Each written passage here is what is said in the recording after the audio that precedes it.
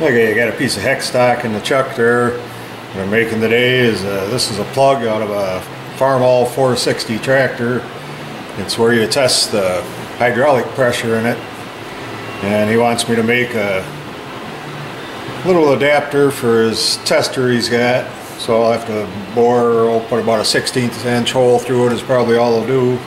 Just drill a hole through that and a piece of stock and then I'll put some threads on it we got to keep them that short and everything. Where this O-ring is in the back, there is a little relief there, so I can cut a relief, cut some threads on it, and then the other end I'm going to do a, I believe he said it was an eighth inch pipe thread or a quarter inch pipe thread. So, get her turned down a bit, go for it.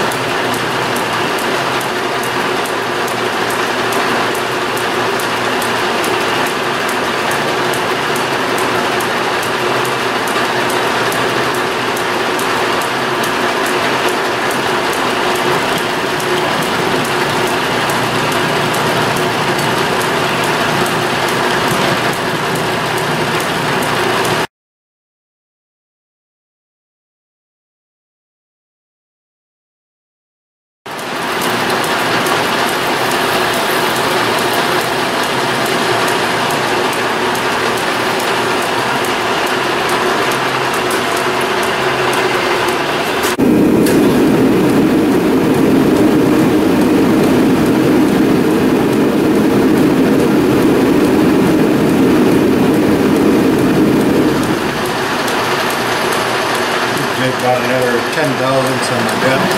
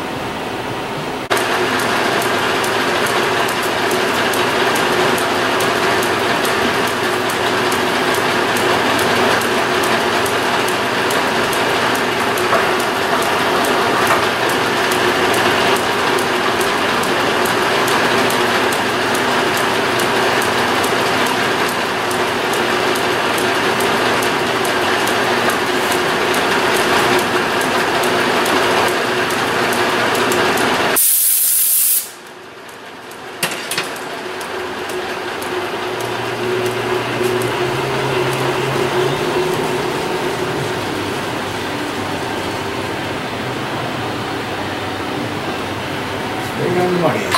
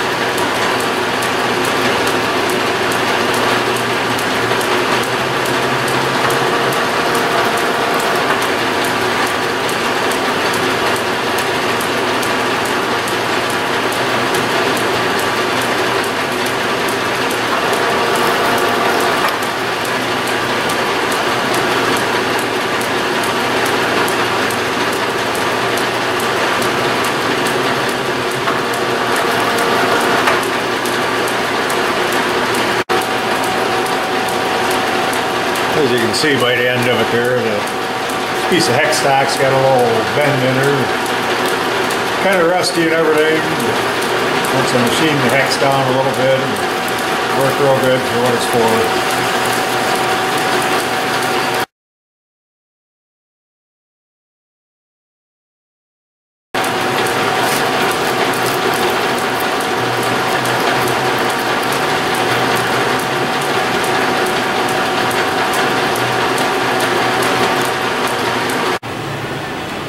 Okay, you got the other end threaded and got it turned around. Just use the pipe die to thread this end after I turned it down. Now I'm going to center drill it. We're going to put a uh, an eighth inch hole all the way through. So I did leave it a little longer, so I've got to have a little bigger bit to make it through.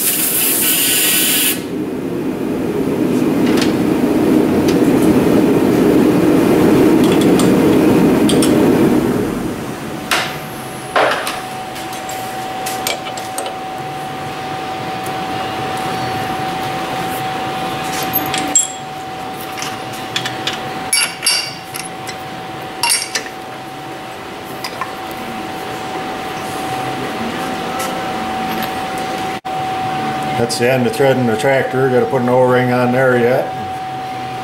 This is an adapter for the pipe thread that's on the tester and the pressure gauge. so should be ready to go. Still going to probably take and clean the flats up though. Thanks for watching.